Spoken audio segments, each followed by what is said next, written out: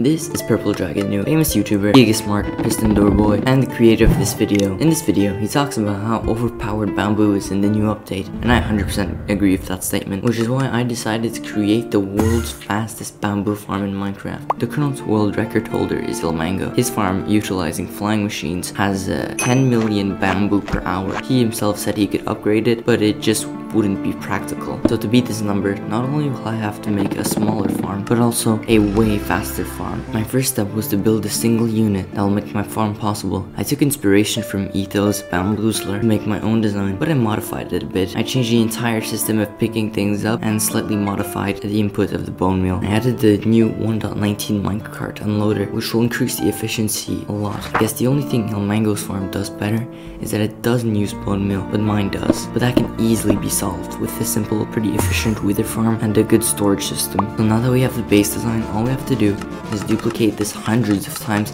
and connect everything up with redstone.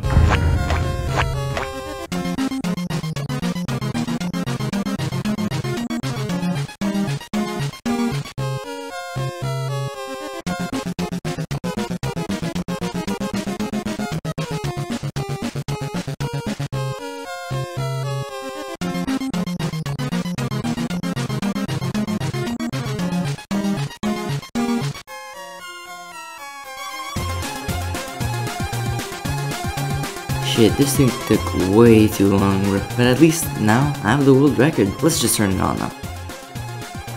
Fuck!